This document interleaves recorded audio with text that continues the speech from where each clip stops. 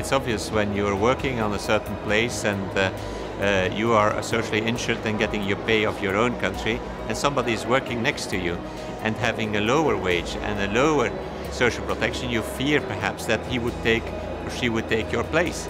So people fear, uh, uh, fear posting or don't like posting because they consider it to be a tool for unfair competition.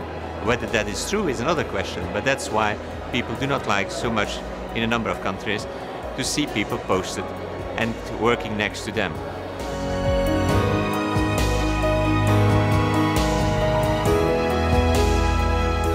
I think we have to see that uh, for a number of jobs today, it's hard to say where a person is working.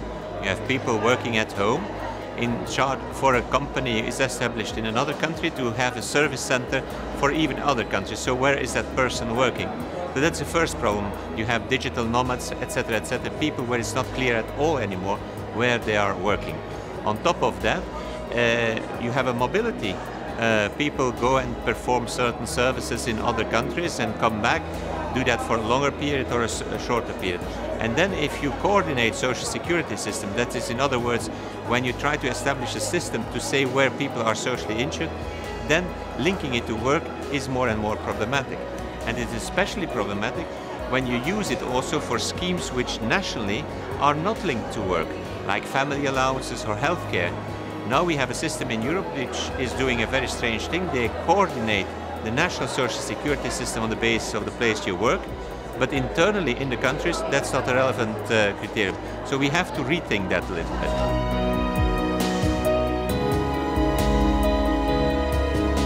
I think that nowadays the most realistic approach would be through the financial, fin financial side, to say all the countries have to operate with a social security budget, partly from contributions, partly from state subsidies, and to organize some fork within which percentages of contributions have to be situated.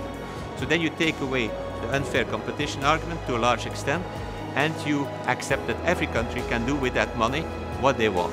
It has one very annoying aspect. For the first time, governments will have to justify that for the same amount of money, they may not deliver the same quality of social protection. That's why the member states will perhaps not like it. But I think that's the best solution for the citizen.